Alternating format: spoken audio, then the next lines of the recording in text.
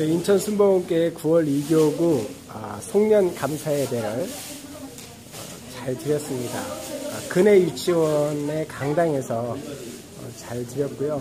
우리 김남근 목사님의 말씀 그리고 우리 9월 2교구 성도님들 간에 서로 친교 또 식사를 맛있게 했고요. 어, 지금 이렇게 보시면 모든 행사를 마치고 또 이제 뒷정리를 잘하고 계시는 우리 권사님과 집사님들이 계십니다. 그리고 이 장소를 어, 우리 9월 2교구 어, 예배를 잘 드릴 수 있도록 어, 허락해 주신 근해 유치원 우리 권사님과 또 우리 관계자들에게 진심으로 감사를 드립니다.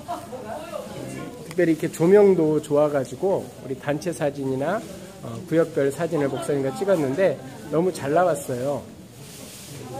우리 9월 2교구가 좀더 어, 주님께서 보시기에 아름다운 9월 어, 2교가 되고 또 지역사회의 발전과 또 지역사회 부흥에 이바지하는 어, 진정한 크리스찬들의 공동체가 되기를 바라는 마음입니다.